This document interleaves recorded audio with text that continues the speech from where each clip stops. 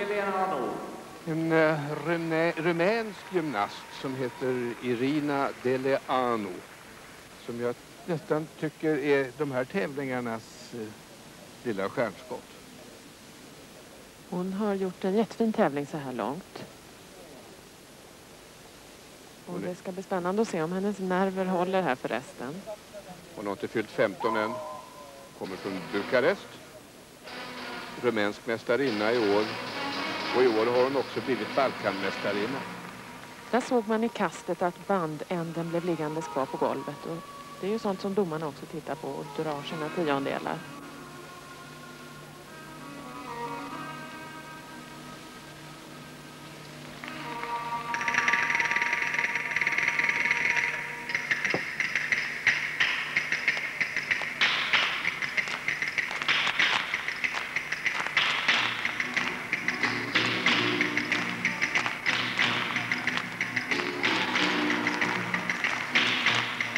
Ett av de momenten som flickorna gör när de kastar iväg sina redskap är att rulla på golvet. Oj, nu trasslar hon ordentligt.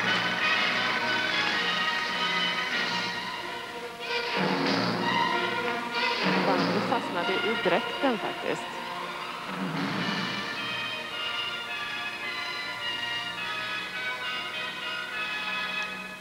Hur pass hårda är domarna för en sån grej? Det där kostar mycket. Nu kommer vi ses efter en tre, fyra tiondelar.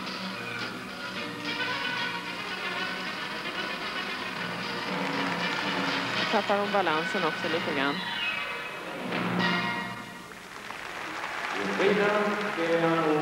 Bandet fastnar alltså mot hennes dräkt. Hon är helt insnurrad. Det var otur. Deliano får bara 9,1.